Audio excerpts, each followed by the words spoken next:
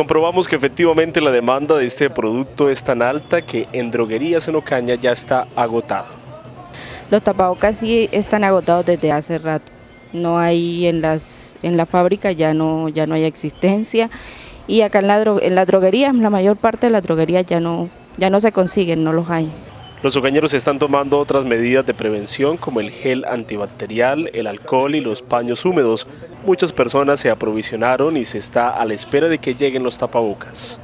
Normalmente acá lo estamos vendiendo en 400 pesos. Incluso ayer eh, vinieron a ofrecerlos, pero para vender a 1.500 pesos. Entonces son costos muy elevados que no, Sí, estamos en espera porque se, pues, se hizo pedido, pero como te digo, las, las fábricas eh, tienen agotado el, producto, entonces no, no lo hay.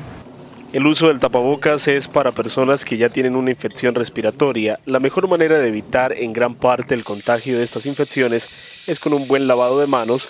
El 50% de enfermedades respiratorias se pueden evitar con el lavado de manos constante.